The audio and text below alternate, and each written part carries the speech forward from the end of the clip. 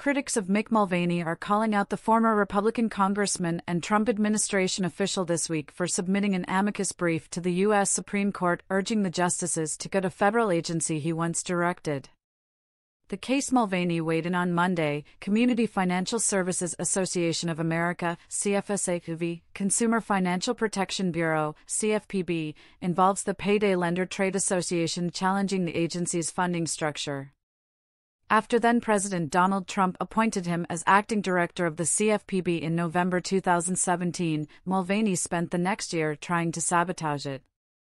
He was fiercely criticized, with U.S. Senator Elizabeth Warren, Democrat Massachusetts, who played a key role in establishing the Bureau, saying in 2018 that this is what happens when you put someone in charge of an agency they think shouldn't exist.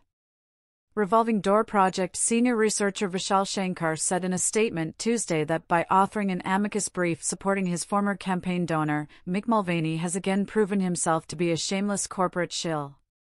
As a congressman and CFPB director, Mulvaney repeatedly tried to kill the CFPB after raking in whopping sums from big banks and predatory lenders who wanted the Bureau dead. Shankar noted. Now, with the help of his disgraced former lieutenant, Mulvaney wants SCOTUS to finish the job. It's time to stop pretending this case is anything but a brazen power grab by corporate criminals and their loyal bagmen. As a congressman and CFPB director, Mulvaney repeatedly tried to kill the CFPB after raking in whopping sums from big banks and predatory lenders who wanted the Bureau dead.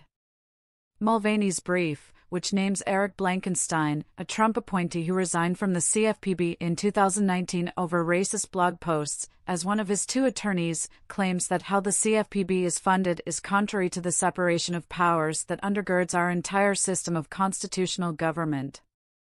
It gives a single director control over hundreds of federal workers and hundreds of millions of dollars, the document states.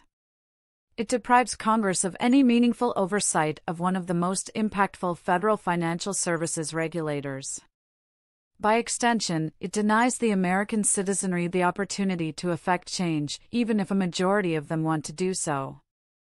Accountable.us spokesperson Jeremy Funk warned in response to the filing on Monday that if the Supreme Court gives those with an axe to grind against the CFPB what they want, it will likely lead to the worst rollback of consumer protections in U.S. history.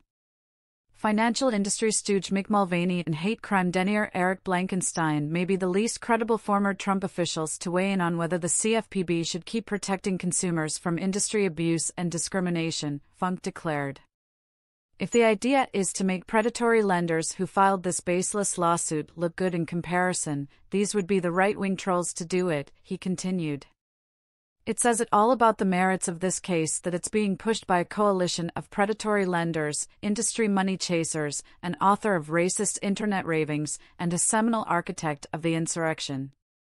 Among the other backers of the CFSA's argument is former Trump attorney John Eastman, infamous for his contributions to the former president's big lie about the 2020 election, which led to the January 6, 2021 attack on the U.S. Capitol along with also taking aim at Mulvaney, who was hired as a CBS contributor last year. Experts at the Revolving Door Project have blasted Eastman's brief. If the CFPB weren't so popular, corrupt bankers and their proxy members of Congress would have succeeded in killing it legislatively, Jeff Hauser, the project's executive director, said Tuesday. Since the CFPB is too popular to take on legislatively, sellout has-beens like Mulvaney and Blankenstein are shifting to Plan B, seeking action by a judiciary which is as corrupted by big money as it is blinded by right-wing zealotry.